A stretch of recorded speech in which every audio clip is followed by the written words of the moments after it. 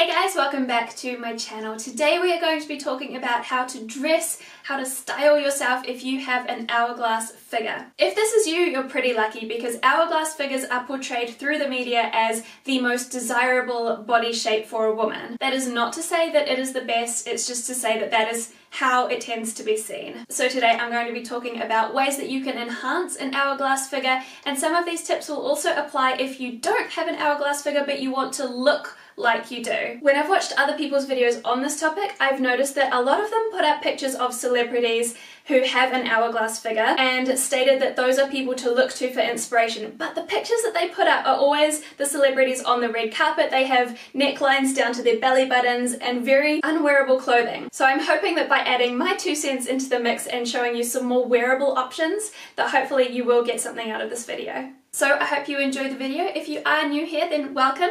Please feel free to subscribe if you enjoy my content. I post at least one new video every week. Okay, for starters, I just want to say that just because you have an hourglass figure doesn't mean that you necessarily want to enhance it. We all want to be able to dress however we want but this video is specifically for if you do want to enhance an hourglass figure. One of the most recognizable attributes of an hourglass figure is the smaller waist in comparison to the bust, the shoulders, and the hips. That beautiful, typically curvy woman. So when we're talking about dressing for an hourglass figure, we want to accentuate those curves, we want to bring in the waist, draw the eye to that smallest part of your body, and really show off the curves. So tip number one, since you already have those beautiful curves going on, on is to wear tight fitting clothes. When people talk about dressing to flatter your body type, they often talk about the problem areas and what you want to cover up. And I'm sure we all have our own opinion of our personal problem areas, regardless of body type. But since you have these beautiful curves, why not show them off? Try a bodycon dress, anything that clings to your curves and shows off that beautiful shape, or a tighter top with tailored trousers. Not everything has to be skin tight. Slim fitting trousers are still going to show off your beautiful shape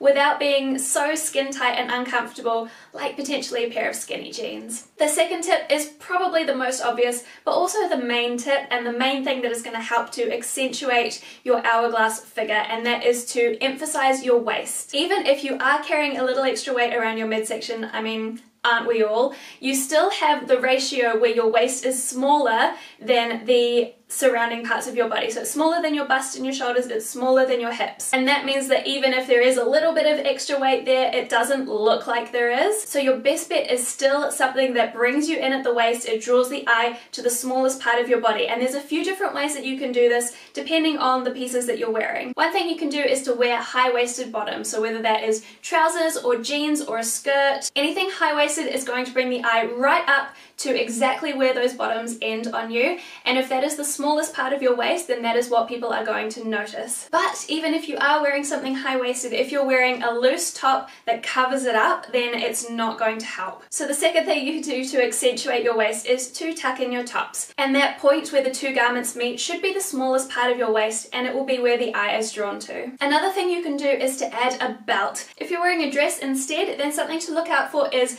a dress that either ties around the waist or one that has an elasticated waistband because again that is going to bring you in, it's going to emphasize your small waist and it's going to really emphasize the hourglass shape that you have. You may have noticed from my previous videos that most of the dresses that I wear have a tie waist and I think that is because the hourglass shape is the most coveted so a lot of clothing is actually tailored to make you look like you have an hourglass figure even if you don't necessarily. By putting a tie around the waist and really cinching in that waistline, it's going to give you the illusion of a smaller waist in comparison comparison to the rest of your body, even if that's not necessarily your natural shape. One thing that I do like to do if my dresses don't have a tie that comes with them or if they don't even cinch at the waistline is to add a belt. This is something super easy that you can do with any outfit. I put it on top of flowy dresses that perhaps don't have as much shape as I would like. I also do it to cinch in trousers and jeans that don't come in as much as I want at the waistline. Hourglass girls out there, you probably understand trying to find the perfect fitting pair of jeans is a struggle. I have done a whole video on how to find the right pair of jeans for you. I will link it up here as well as in the description box you can check that out if you want or need to. I feel like shops are getting a little bit better now. It's getting slightly easier to find a pair of jeans that fits, but for a long time and for the most part still, shops have jeans that are more straight. So from the hips, they go straight up. And if you have an hourglass figure, you need, from the hips, you need it to go in to your waist so that you don't have a big gaping gap around your back. But if you have jeans that you love but don't fit you perfectly, then adding a belt around the waist is going to help bring them in and keep that consistent hourglass figure. Alright, so there are lots of different ways that we can bring the attention to our waist, but what else can you do? How else can you dress if you have an hourglass figure? So tip number three is to wear tops with a V neckline. And there's a couple of reasons that this looks particularly nice on hourglass figures. One of the reasons is that generally we have a larger bust to waist ratio, so drawing the attention with a point into your cleavage is kind of flattering. And the other reason is that that V neckline kind of mimics the shape of your shoulders to your waist. So your shoulders being a bit wider and then you taper into your waist the V neckline is exactly the same. So you kind of have those two almost parallel lines which just play off each other and mimic each other. The fourth and final tip that I have today is flowy bottoms. I talked earlier in the video that along with dressing for body shapes, people often talk about covering up parts of our body that we're not so happy with. For an hourglass figure, you do have the wider hips, the larger butt, and I feel like along with that comes larger thighs, which you may be happy with, and if you are, then go you. But I also feel like some of us may want to cover that up a little bit. So having something that is flowy on the bottom is going to really help to disguise that. Something that comes in at the waist skims over your hips and your bottom but then flows over our legs. That is going to be super flattering if you're not super happy with your legs. It's going to keep them completely covered up. Remember guys, you do not have to dress for the body type that you have. These were just some tips if you really are wanting to accentuate what you have, but I still say wear whatever you want to wear, just go for it. Sometimes I dress using all the tips that I just gave you and sometimes I go completely rogue and wear things that completely cover up my shape. It just depends how you're feeling each day. I hope you did find this video helpful. Thank you so much for watching and until next time, bye!